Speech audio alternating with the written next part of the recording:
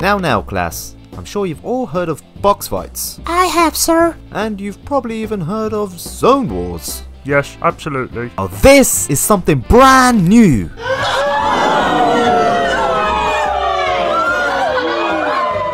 Introducing House Fights.